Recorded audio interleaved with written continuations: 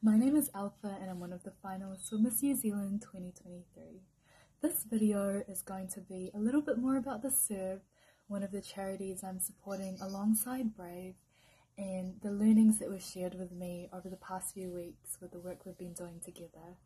So um, it's going to be a little bit about more of the scope of what they do, uh, who's helping out currently, how we can help as individuals and maybe organizations, and also where to find them and the challenges, some of the challenges that they're facing as a charity at the moment.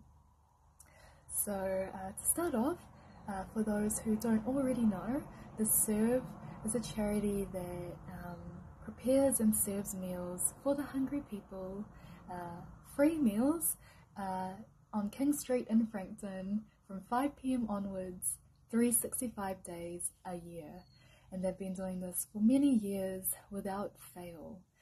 Um, the scope of what they do, I wanted to touch on this because although a lot of people that do know them, uh, they're known for serving meals, there's a lot of other things that come into play um, that was shared with me when they get to know and spend more time with the regular ones that come along, and it goes way beyond just food poverty.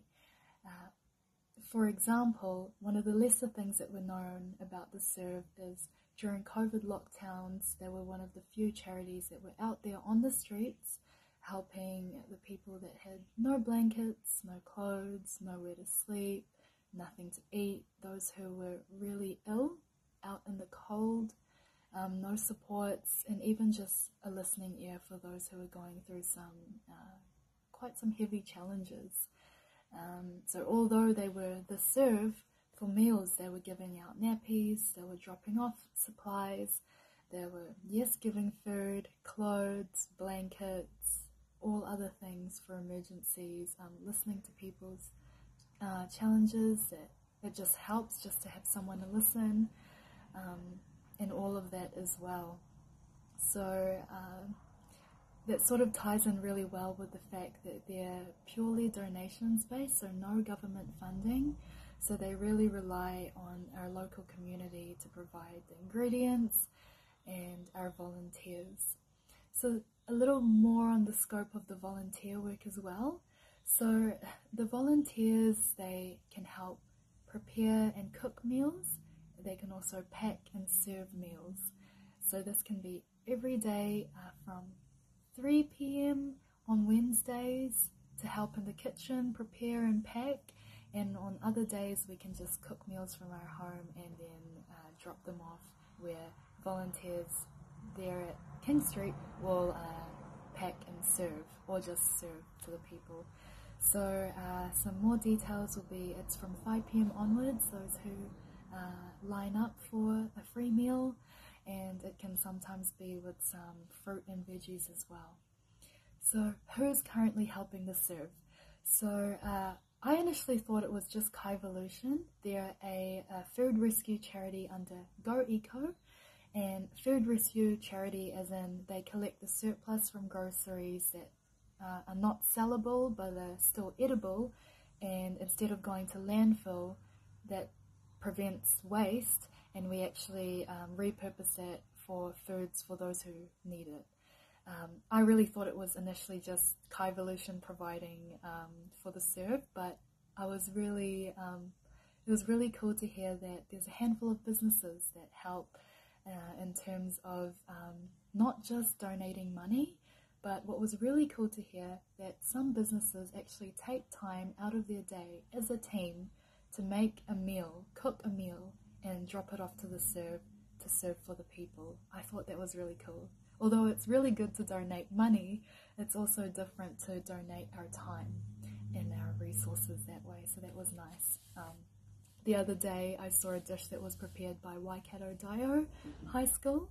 So they're a high school here in Hamilton that, um, yeah, it was cool to know that there were some students that took time out of their day to uh, make a meal, especially for the serve, which was awesome. Uh, yeah, So um, there's ways that we can help other than money, um, and we can donate our time. So that is the scope of the volunteers and who's currently helping. Um, if we want to know more, we can always check out their website, and they also have a Facebook page, or you can message me as well. Um, the last thing I'll touch on is how we can help. So this can range from if we're an avid garden grower and we have surplus carrots or fruits that we may not use all of it or we've already given some to friends and family and there's still more and we don't know where to drop it off, we can drop it off to the serve. I've also posted on my Instagram and Facebook other places in the community that um, we can go to to drop off food and also ask for food parcels. So that way we're circulating the surplus food instead of it just rotting and maybe going to landfill. Um, yeah, so other things is maybe if we're an avid baker or we like to trial other ex- uh, experiment with cooking and there's surplus that friends and family don't want or we want to donate it to people in need, we can drop it off to the serve as well, alongside the other places.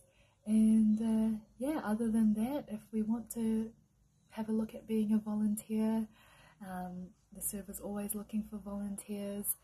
Some of the volunteers are on roster, but it doesn't have to be a full commitment as well. Because uh, just like how a little bit of donation money to charity goes a long way, even an afternoon here and there we're free one afternoon or a couple or in the weekend, it still goes a long way if we want to spend time to cook, pack, uh, or serve, or all three, and more. Um, yeah, or if we just have any surplus that, you know, uh, we want to put towards a good cause that we won't otherwise use. So that's it for now in this video. Thank you so much for taking the time to listen. Really appreciate it. Um, I'll definitely be highlighting more things about the serve, what we're doing, and maybe some other challenges that we're facing. Um, but I'll make that in another video. For example, um, the stigma around poverty. That was one thing that was shared with me from the serve. Is um, it's quite a tricky thing to um, go out there and ask for help because there is some shame in that that the serve has heard and um, has seen, uh, which is a shame um, because it's brought along by the stigma we place on people that um, we put a label on as homeless or those who are struggling and or poor. Um, I guess to put it short, there's so much more to a person than the surface that we see, than the social narratives that we hear, and we only really know unless we're in their shoes. Um, so it's quick to judge, but it's it's also free to be kind and extend our understanding and compassion. But more on that in another video. Thank you so much for taking the time to listen in. Yeah, I'll check in with you all soon and take care.